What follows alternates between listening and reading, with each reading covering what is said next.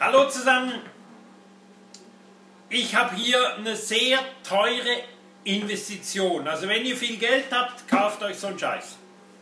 Das ist ein Weinkühlschrank. Hier kann ich Wein einlagern und das Ding läuft mit einem thermoelektrischen Kühlsystem. Thermoelektrisch, es gibt fünf verschiedene Kühlsysteme, drei sind relevant und das thermoelektrische ist an sich eine richtige Stromschleuder. Wir kennen das aus so Kühlboxen, da mache ich euch dann hier oben einen Link über eine Kühlbox, die kosten 50 Franken, Euro. Ähm, die kann man einmal im Jahr brauchen und äh, wegschmeißen nachher, weil sie hat einen Griff dran. Das ist das Sinnvollste. Aber es gibt, gab dann da Kommentare, dass man ja so eine Box nur kurz braucht und da spielt der Stromverbrauch ja absolut keine Rolle. Hier unten mache ich euch ein Video in der Endcard äh, über den Minibar, also Hotelzimmer-Kühlschränke. Und hier habe ich jetzt einen Weinkühlschrank. Jetzt könnt ihr mir erzählen, dass ihr den Weinkühlschrank auch nur zwei, drei Tage braucht im Jahr und dann spielt der Stromverbrauch nicht so eine Riesenrolle. Ich habe hier ein Messgerät.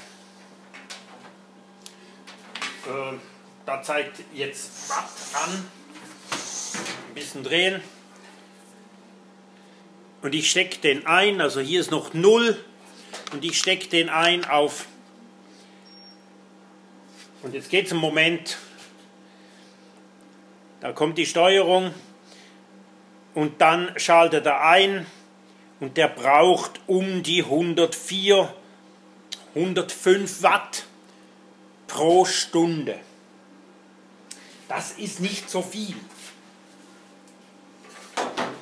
Aber das Beste ist, und das seht ihr, wenn ihr hier hinten keinen Kompressor habt und nur so ein Gebläse, und hier auf dem Tippenschild,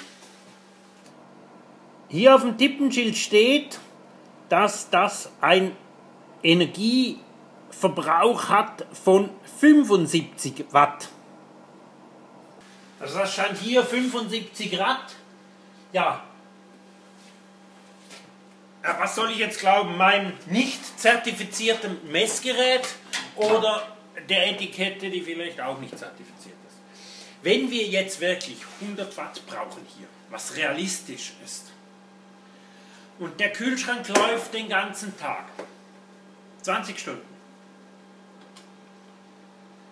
das mal 356, 65 Tage im Jahr, könnt ihr nachrechnen, dann sind das 712 Kilowatt, die so ein Schrank braucht. Ihr wisst, was ein Kilowatt ist? Ein Kilowatt ist ein Kilo Nordseeschlamm. Äh, ja, ein Kilowatt.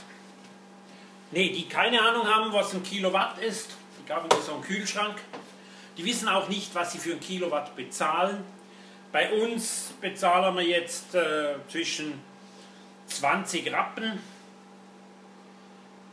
Dann wären das Stromkosten von um die 150 Franken pro Jahr. wie dieser Kühlschrank Strom säuft. Wir wissen, bei uns gehen die Strompreise hoch. In Deutschland sind wir dann schon bei 36 Cent. Und dann kostet so ein Kühlschrank oder teilweise schon 40 Cent. Aber wenn man mit 36 Cent rechnet, dann kostet euch der Stromverbrauch von diesem Weinkühlschrank 250, 260 Euro pro Jahr. Also bei 10 Jahren Betriebsdauer kostet er 2600 Euro Strom. Ich habe vorher gesagt, wer sich so einen Scheiß kauft, es teuer bezahlen. 2600 Euro Strom für so einen kleinen Weinkühlschrank. Ja, man hat es ja.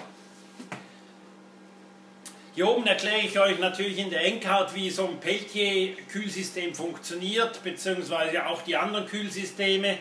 Hier unten das Video von den Minibaren, das gleiche Thema.